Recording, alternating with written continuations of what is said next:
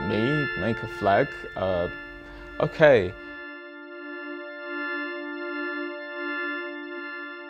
The only rule that I kind of set for myself was to create something that was kind of visually engaging enough to create a question or to at least just start off the question of why.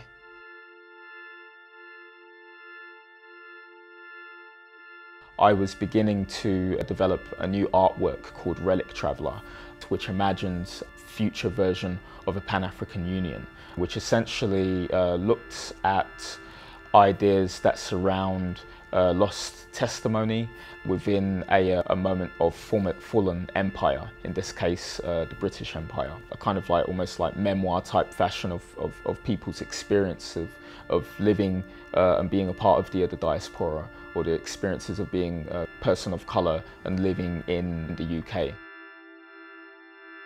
Working from Somerset House Studios, I was jotting down and designing what I would, was hoping to kind of uh, create as like flags or patches. I was thinking a lot about these designs and how I might use them in the video work, but then I was kind of approached with this possibility of creating something that would be hoisted up on top of the building.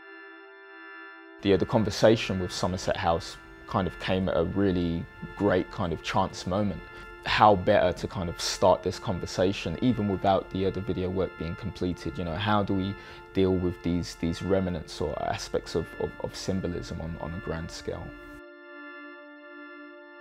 My hope was to focus on a, uh, a design or set of colors that looked at uh, pan-africanism the context of Africa in, in that sense of prosperity, resources, the people, plant life and nature, and, and how that becomes a part of a, an ecosystem.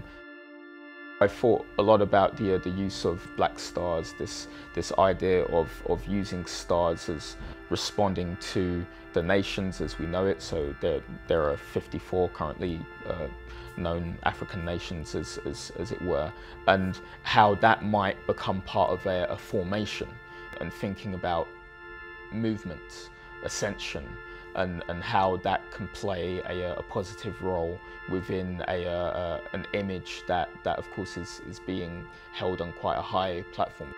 For me, I guess the challenge there was to, to create something that rose out of this idea of flags that have been used or co-opted or associated not just with Brexit but you know colonial histories.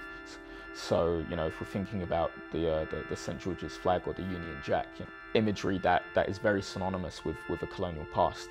My approach was really not to um, try to even subvert or even invert any of those colours. In fact, to kind of go beyond that, to create something new and to have a conversation around um, migration, bringing forth the communities that have been here for, for a very long time. How do we include that within such a, a monumental scale? How do we use that as a gesture?